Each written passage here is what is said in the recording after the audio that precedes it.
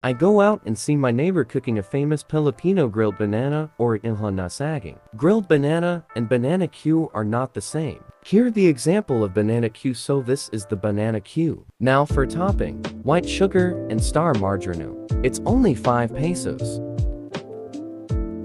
Look at that yummy.